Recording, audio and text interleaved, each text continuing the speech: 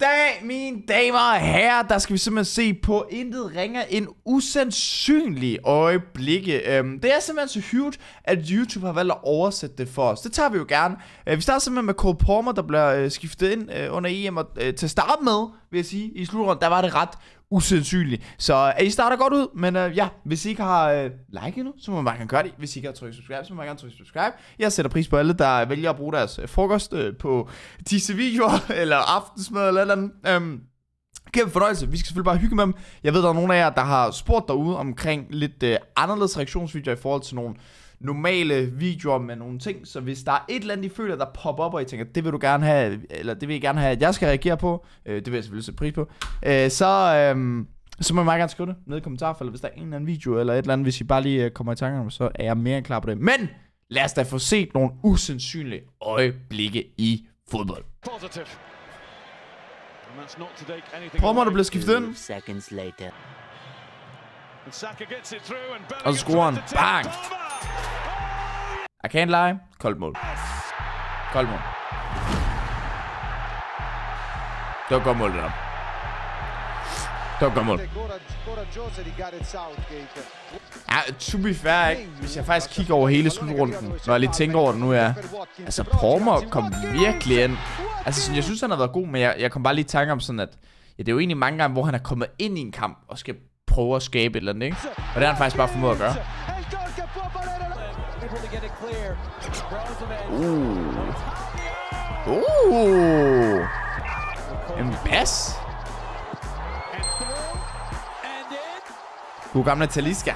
Taliska. Jeg husker mig altid kun på grund af FIFA. Bro, er det fra midten, der lige blev scoret? Nå, det er Laportes mål, er det ikke? Jeg skulle skrue lidt ned for lyden, men uh, hvorfor er den også så freaking høj, den her video? In the Miami finished, dude. Finished. Men crazy at have arrangeret en eller anden, jeg tror det var en træningskamp eller sådan noget, mellem Miami og øh, Al Nassr, tror jeg de hedder. Og så Ronaldo, han var, jeg tror han var skadet i den her kamp, eller et eller andet. Og Messi, Messi spillede ikke engang, eller hvad? jo, han blev vist udskiftet. Jeg kan ikke huske det. Jeg så ikke kamp.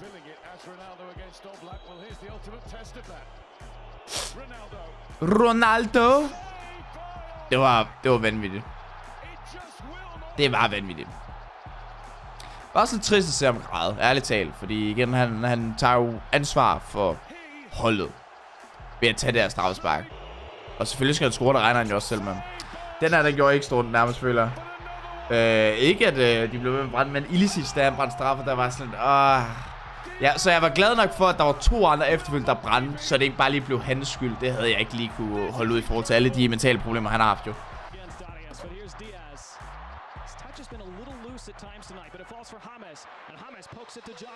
Ja, jeg ved for, øh, hvad er opdaten egentlig på Messi? Fordi hvad det lignede, da han sad ude på siden, det er det også, altså det gør også ondt at se. Øh, men hvad det lignede, så lignede skulle det en forstået ankel, eller der med den der hævelse, der kunne komme. Ej, det, det, altså det, det er virkelig ikke særlig fedt at se. Men de vandt sgu igen, Copa America, så manden har bare lige vundet to Copa Americas, casually, come on. Og så også lige VM selvfølgelig. Så det kan være, at han lige tager one last dance i, øh, til VM 26 og så retire. Det tror jeg faktisk, det godt kunne ske. Jeg tror, der er fin chance for. Hey, Argentina. In 2024. Ikke- Jeg vil heller ikke sige, det er ikke fordi, de har mødt øh, prangende modstandere på vejen. Jo. Men var det ikke Brasilien, der blev slået af Colombia eller et eller andet? Jeg tror også, Colombia er et okay hold, men, men Brasilien, bro.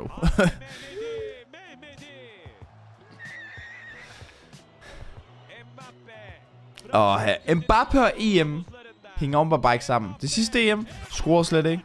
Brænder straffer, så er de øh, røvet. Det afgørende i hvert fald. Øh, og den seneste EM brækker næsen. Han scorer lige et enkelt mål, er jeg ret sikker på. Var det på straffe? Og ellers ikke. Manden tyser i parken. Wow. Manden kender ikke lære. Kom on. Og Rooney.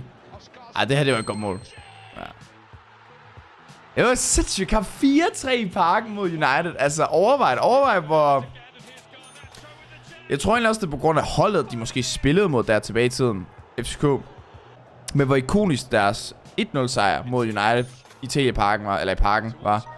Og så har de bare lige vundet 4-3 igen. Hvor knap så godt hold. Det, det der, det var også en sindssyg kamp. En af de dårlige også for Onana. Selvfølgelig. Martinelli. Martinelli. Martinelli. Åh, oh, Saka. Ja, der, der, der skal scores på. Det kan godt, vi vandt den der kamp, men det, der skal scores. Wow. Jeg tror, Salah, jeg tror, det var lige den her periode, ja. Han var legit unstoppable, dude. Unstoppable. Og det er han stadig til tider. Men lige der. Jeg tror, det var der, han havde de der Ballon d'Or contenders ting over sig. Er det Canwell, der spiller Rangers, ja? Jeg ved ikke lige, hvad han har set. Da han skulle aflevere bolden. Bro, er der bare ingen, der gider aflevere til nummer 19? Altså, pray for nummer 19. Ærligt talt. uh, ej, det, altså, det er også ikonisk, det her. Det er også ikonisk. Det blev mimet så voldsomt meget, kan jeg huske tilbage i tiden.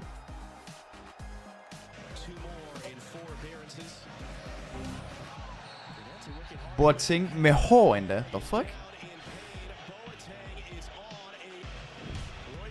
Ja, det her mål. Wow. Wow. Ja, det var, det var et lækker mål. sido el técnico argentino de 64 años. Ojo a James Rodríguez. Balón para James dentro del área. Og Rodriguez til VM i 18. Nej, nej, nej. Different, different, different. Hvad er det 10 år siden? Der er måske nogen af jer, der ikke engang var... Måske er der nogen af jer, der ikke engang så VM i, i, i 14, fordi de simpelthen var for, for unge. Men, men Rames Rodriguez, damn. Streets would never forget. Oh, Celtic mod Rangers endda. Overvej at score i sådan en kamp.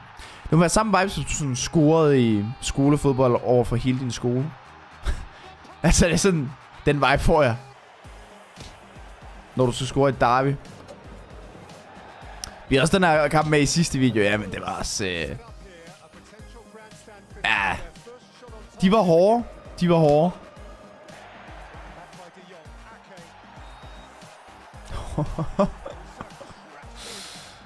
Damn, man rører sig bare lige ned efter Van Dijk. Shit. Wow. Misser den lige. Det kan være... Okay, det giver en assist, eller hvad? Hvorfor er det speed kommer ind i stedet? Jeg ved godt, I ikke kan se det på min cam, men, uh, men stadig. Jeg gad godt vide, om det gav en assist. Oh.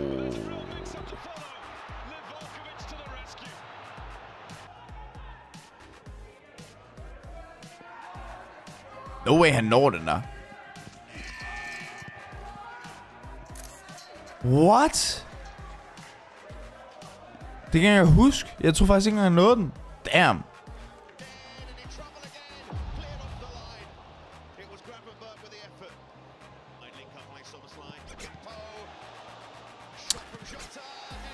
Holy shit. Var det sidste sæson der? Men når det er FA Cup. Ah, that makes sense. Jeg var også lige sådan Norwich, dude. Det er da sådan tre år siden efterhånden. okay, lækker mål. Lækker mål. Alt det så er et selvmål, det er jo sådan en anden snak. Men, uh, men jeg rater det målet. Nej, hvad? Var det? Nå, det var angriberne. Wow. Ja, okay. Jamen, Så er det jo fair. What the fuck? Okay, den ramte ham godt. Den har ramte ham rigtig godt. Ja. That is a glorious goal.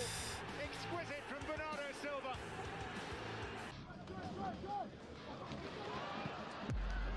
Det er sgu godt taget på linjen. Godt løbet ind. God beslutning. Er der Di Maria en... Øh...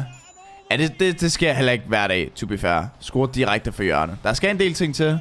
Blandt andet lidt sådan foran bolden og så videre, som kan forvirre keeperen, men stadig vanvittigt.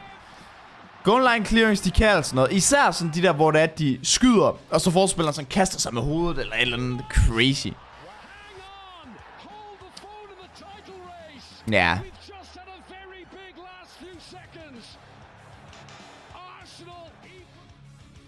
ja. Det gav mig lidt forhåbninger, men, men stadig. Igen, det der, det er også, ja igen, vanvittigt. Er du sindssyg en aflevering? Chance for the Greeks. Neither was taken. Til gengæld også vanvittigt taget af nøje, når jeg lige lægger mærke til det. Det var trods alt det klippet faktisk handlede om. Jeg synes bare, det var en lækker aflevering. Uh, baller, baller, baller. Uff. Uff. When the assist is more beautiful than the goal. Ja, ja, ja, ja. I feel you. Wow. No way, de... Jeg føler lidt, nummer 9 han skød nummer 5's ben, eller et eller andet. Ja, det er, det, det er sådan nogle goal line, der sådan er crazy. Og bare fordi han går i panik, fordi bolden er for tæt på ham, så han kan ikke rigtig selv sparke den væk, så skal han dreje sin krop om, det når han alligevel at gøre. Tager han søs den der? Også en lækker redning. Åh, oh, wow.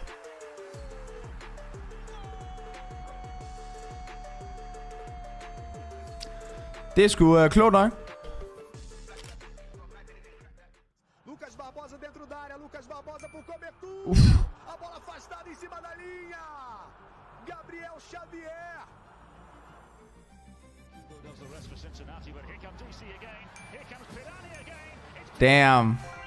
Damn. Er det noget MLS igen? Jeg føler faktisk, der er mange MLS-clips med. Både positive og negative.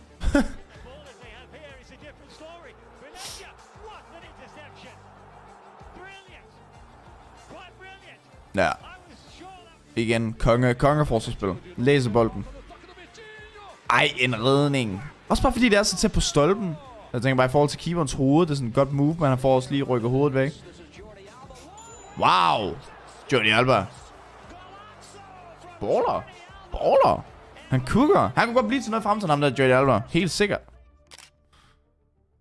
Okay, det kunne han så bare ikke. det er som om han døde der. Eller Ej. Skyd, please. Please. Prøv at se, der. Jeg respekter ham der, der bare stod stille for gul. Han var sådan lidt. Han der han er ikke gammel og sindssygt. Jeg giver ham plads til det. Jeg giver ham hans moment.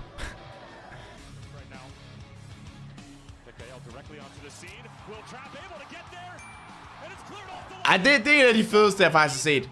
Damn! Wow! Okay.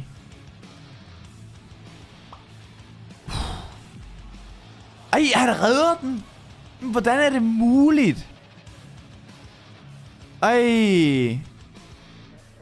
Er det så heller ikke særlig godt angriberen? Okay, 200 IQ uh, free kick. Ja, lige præcis, præcis. Jeg kan bare regne ham med uh, redigering ud. uh, iskold. Iskold. Subscribe! De mener faktisk, at I skal subscribe til Metamus kanal. Kom on. Nej, det var en, øh, en god video igen. God video, og vi selvfølgelig får se det på Metamus kanal. Det er, det, det er sgu ikke for sjov længere. Øh, jeg håber, I nød den. Jeg håber, I øh, har trykket subscribe, så I kan se med næsten hver dag, har jeg lyst til at sige, hvor jeg laver uploads herinde. Både stream highlights, men selvfølgelig også fodboldreaktioner, og måske også andre reaktioner i fremtiden. Det kan vi altid tage til den tid. Anyways, tak fordi I gad så med. Kæmpe fornøjelse. Smid like, tryk subscribe, og ses vi i næste video. Peace!